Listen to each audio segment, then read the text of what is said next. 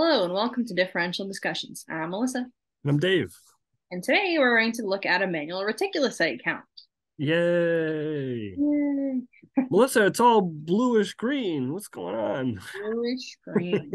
Yeah, so this is- like Wright stain. no, this is not a Wright stain. This is probably a methylene blue stain, a, a supravital stain. Super vital. What? Yeah. So supravital stains are mixed with the blood before the blood is fixed onto the slide. So while the cells are cells are still alive and they're still actively going through their metabolism, this way they can take this the stain up into their metabolism and it can stain the internal contents of that cell. So the reticular material, because that's what reticulocytes have. They have RNA, that reticular material. So we're looking to stain that inner content so we can see which ones are retics.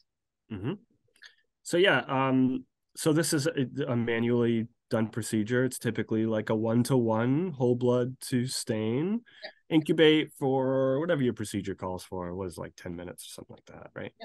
Um, when you do smear these out and make the slide, uh, use less volume than you normally would. These, uh, because it's diluted, they smear kind of long, right? It's kind of Okay. when you make a push prep. Um, yeah, so you know, why would we do a retic manually like this, right? Can't my really expensive expensive XN analyzer uh, do a retic? If you have a really expensive, That's a great point, right? so we could all work at an uh, an institution that just chooses not to have the retic reagent, even right. So um, it's you know they can be a cost per test can be really expensive uh, relative to the manual procedure, right? So um, maybe Yeah, we could talk about why would you want a reticulocyte result too, right? okay, yeah. Well, let's So- talk about let's let's keep going about how like why would you do one? Yeah, sure. So you Um, would do one, uh, like we said, you know, if your instrument has doesn't have retic, mhm, and like Dave said, sometimes it's expensive. mhm. Like for example, the XNs at school, I think they have the capability of doing manual retics, but we're not going to purchase that reagent. Yeah. Way too expensive. Uh, but some smaller laboratories may say the same thing. Yeah, right. Absolutely. Depending on their population too, right? I mean, um, so mean, physician or cl- clinical team might order a reticulocyte count uh, in assessing erythropoiesis, right? Is the bone marrow responding appropriately, bouncing back from an anemia? Um, reticulocyte counts are also helpful in the differential diagnosis of a hemolytic process. So uh, commonly, the reticulocyte count will be elevated in a in a hemolytic process. Um, Yep. Yeah, versus if you're dealing with like bone marrow failure, Yep. aplasias, or even something as simple as IDA where the patient isn't getting iron, then your retics are all going to be decreased because Yep. you have decreased output. Different reasons, right? MDS, Right. or if you're dealing with aplasia, it's because your bone marrow says, no, I'm done and I'm not putting any more out. Versus iron deficiencies, you just don't have enough iron to create more. But the point of the retic is telling you whether it's increased or decreased so that you know if the bone marrow is actively putting out those reticulocytes or not. right, right.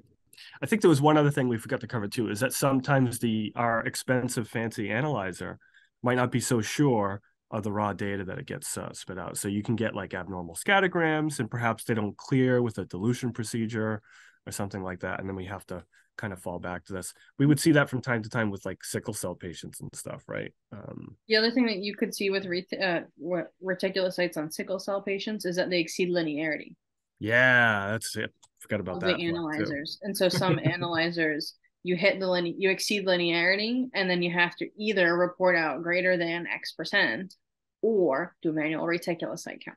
Yep. And don't get me started because I feel like greater than X percent is totally legitimate results for a retic, but that's another topic, another rant. Um, But either way, everyone needs to know how to do a manual retic. yes, absolutely. because they may have to do it at some point. Mhm. And So- so, uh, procedurally, uh, we're counting red cells. Is that the best way to counting and classifying? Basically, this blood parasite speciation, Kleihauer Betke's, it's you're just gonna count a ton of red cells. Got to get those thumbs working. Yeah. Yeah, with clickers. So um, with your retic, you have to count the number of reticulated cells out of a thousand red cells. Mm-hmm. Yep. So today we are not going to count a thousand red cells. We're just going to go over what do these reticulocytes actually look like. Yep. All right, cool. So we have a pretty good field that we're starting on here. Um, I should probably bring up my my doodle machine, uh, my annotation machine here. And some really good retics, like these are some really prominent ones, right? There's two here. I'm gonna skip one on purpose too. These are all good retics. And so what you should see is all of your red cells will kind of have this bluish kind of green staining to it. You'll notice that some have different intensities on the staining, right? So I'm going to point to this fella. Um, that doesn't mean it's a retic. so we're not looking at um, that's just more the concentration of the uh, the hemoglobin, right? That's uh, causing that coloration. But we want to look for these small blue dots, and then we're gonna have to try to delineate, um, you know, when we want to call it and when we don't. So you'll have some cells like this one, Melissa. What do you think? Right? I see some of those reticulin fibers in there. Yeah but like is it enough to call i think that can kind of vary a little bit yeah um but yeah i mean i would say the what i have circled here are my retics and i think i'm missing one at the top. Yep yeah. there it is. My annotation bar was covering it. You so, were yeah. too like this guy looks like he's got a couple of reticular yep. pieces in there too. Yep. I don't think i would call that one. Personally no i try to keep it at the you know we have to this is where it does get a little bit tricky too right? Is um uh you can kind of overcall um so yeah i would call this one but i may not call this one yeah and and i think it just has to do with the amount of those reticular of the reticular material because i feel like this one has a little bit more mm-hmm. Mm-hmm. And this one, those are just dots. And are they dots? Are they reticular dots or are yeah. they Pappenheimer bodies? Yep. So that a little bit of question and ambiguity makes me just saying no, thank you. Yeah. Um, yeah. And I think that's the other important thing with reticulocytes, the manual retic count, is you have to distinguish is it reticular material or is it Howell Jolly bodies, Pappenheimer bodies, basophilic stippling? Yeah, all of the above will stain as well. So we be careful. Typically, if you're performing a manual retic, at least in the clinical setting, you're probably going to be doing it on your really sick patients, like yeah. a sickler. And yeah. those patients are going to have Howell Jolly bodies and Pappenheimer bodies and, you know, basophilic stippling, which makes it even more challenging. Yeah. Isn't it that situation too where if you're at like these big institutions and you know you have to do a retic, it's like, oh, because you know it's not going to be like this retic, right? It's going to be more of a slog to get yep. through. Yeah, yeah. This one's straightforward. So, I do, I do like that you brought up the the color intensity of the red cell is not indicative of reticular material. Because yes. I think so many students go into it thinking, "Hey, this is a retic right there because it's darker than the other ones." No, it has to do with the reticular fibers, the RNA. Remember, RNA is a strand. So it has to do with the RNA that you're actually seeing. And yes, remember in Wright stain, we talked about how it stained a certain color. It's going to stain a certain way in here as well. And it's not just going to shade the cytoplasm. We're mm-hmm. staining the internal content so we can actually see those reticular fibers. Yes. Yep. Um, and so I would say retic counts generally do kind of follow like a polychromasia call on the Wright stain, but we should still be like careful, right? Like um, there are different procedures. Uh, so yeah. You want to look at another field? Yeah, sure. Yeah, let me clear all my mess off of here. We can go to another field.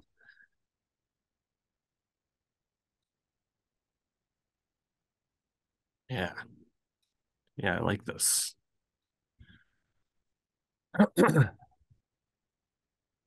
yeah, we have some that are like overwhelming, right? Yeah. A lot of good stuff in there. Um yeah, there's a there's a fair amount of uh, retics here. Uh, I'm actually curious to see if we see like a white cell too, right? Because mm. um, should we try to look for like a, a white blood cell so we can? Yeah. Do you want me to do that now, or do you want to point out all the retics first? Yeah, yeah, yeah. Maybe I'll just stay on on on topic here. So let's see, and you tell me what you think, right? But I'm gonna just be circling away.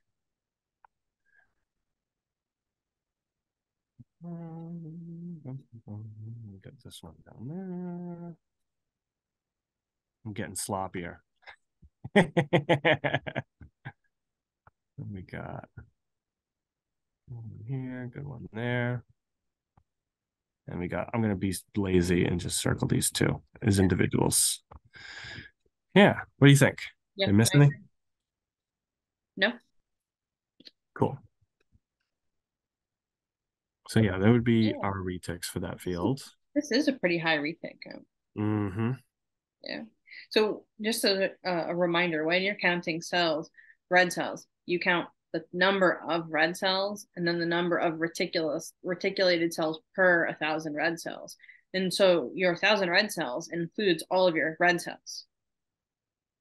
So reticulocytes are still red cells. They are. yep. All right, let's scoot around and see if we can find a white cell. I mean, if we see anything really cool with retics too, we'll stop. But oh, here we go. Yeah, there we go. So they kind of look like ghosty, smudgy looking. Sorry, I'm like circling with the trackpad, and it's not, it's not the easiest. Right. But yeah, it looks to be a white cell right there. Yeah. Yeah. That's why I'm playing with the fine tune because it's kind of hard to see it.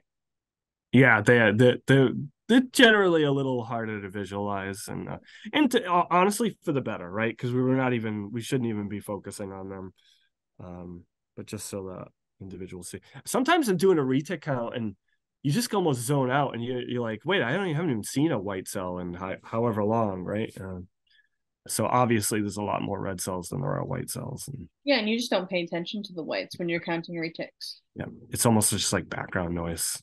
Yeah. Yeah. Um. So what else? Um. We have any other interesting tidbits to add? I was just wondering if there were the platelets, what they look like in here. Especially if they're sitting on a. Well, here's a platelet. Yeah, yeah, there we go. Is that a big one? Yeah. Yeah, and again, just kind of like ghosty looking, which yeah. is for the better for the most part. It's less stuff I have to pay attention to. Well, I'm, I'm just thinking about when platelets sit on red cells. Sure. Yeah, that could be confusing, right? Yeah, but I think if it looks ghosty like that, then it wouldn't be an issue. Right. Um, I've never really even seen a platelet on a red cell in a retic, manual retic, or at least I've never noticed. Yeah, no, it's a good point, and I I think it's likely just because of the the dilution factor, right? Like the the fact that we dilute out the blood, and so it's and you know what? Maybe for the to uh, as we end here, let's go really thick, right? Um, because even the thickest area is not going to get um shouldn't be like too crazy.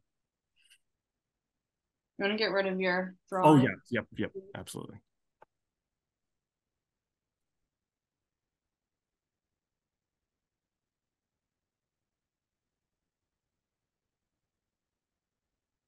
Yeah, see, this is the brilliant part about it. It's just yeah, I'm I'm really thick into the side. I'm almost at yep. the edge. Yep. So I, I suppose it could be possible. Um, what should happen, right, theoretically, is that platelet should be displacing the part of the cytoplasm, yeah. and you should get a disturbance in the staining of the hemoglobin. Because we can see here, the hemoglobin is staining pretty well, this greenish uh, blue or teal sea foam. I don't know. My color palette is not my color vocabulary is not the most oh. sophisticated. um, so I'd imagine that the platelet would influence that. Yeah. And I think it would be easier to tell that it's a platelet on a red cell in this stain than it is in Wright stain. A good, great point. Yep, great point. Given the supravital uh, and the characteristics of the stain. Yeah, I think the only way you can really tell this is a thicker area is because the red cells, I guess, are a hair smaller. Yeah. Yep. But even that, it's like I don't know, this is still a decent area. Yep. And that's just because, like you were saying, the thinness of the the liquid, how And think of and like let's think about it too. This is a high retic. This patient's probably anemic or at least rebounding from an anemia. That coupled with the procedure, the one parts to one part, it's gonna be uh, on the thinner side. And this is just junk. Just junk. Yep. See how it's kind of grayish in color on on that red cell? That just looks like artifact. Yep. That's the staining artifact. Yep. But like you're looking for the blue reticular material here. Mhm. See, it's different from that. Yep. Those artifacts, I imagine, if you played with the fine focus, they would kind of like get Oh. darker and lighter. Oh yeah, Yep. that one is too. Yep. Yeah, the fact that they go from like dark to, to clear to translucent, that's just probably a drying artifact or Yep. some junk. cool.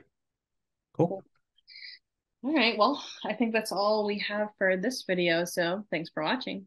Thanks for your time. Please like, subscribe, and hit the bell if you'd like notifications whenever we post a new video. And feel free to reach out to us on social media or via email with comments or suggestions about future content. Thanks.